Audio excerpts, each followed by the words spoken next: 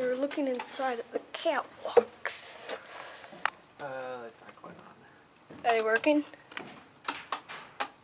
Yeah, I suppose they're not gonna come on, are they? Yeah. Won't want to do it now. Can't really see anything. Yeah, I can't even tell where it ends. There. Yeah. Oh, that sucks. Okay. You can take a peek inside if there's not This much. time we'll do it. See if we can do it. Can do it tomorrow. Yeah, just you can take a quick peek if you want. Just don't step on there. I mean, well, that's the that's, the the board that's not kneeling. Yeah.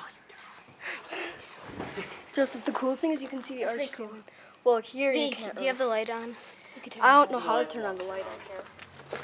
All right. on. No, the eye for the camera. All right. You guys want to hear a?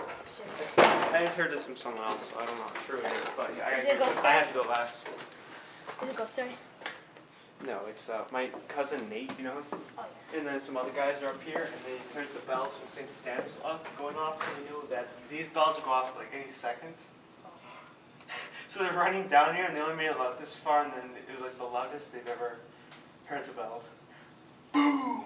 Boom! And their ears almost shot. Here, I need to go last. It's the What? closest. All right. All right. We're going back down. All right. I'll go extra slow. Ooh, I can already see the ground. Yeah, that window is re- actually really big up close. I hope the bell doesn't start ringing. Well, we're pretty far down. We'll be like running down.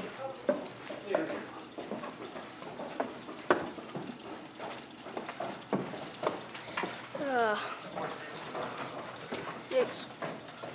There's this landing, first landing. And back know.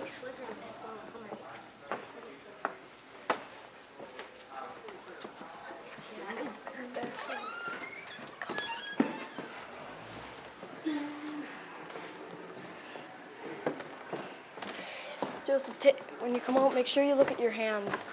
We'll do it. We can get rid of the video. We'll do it again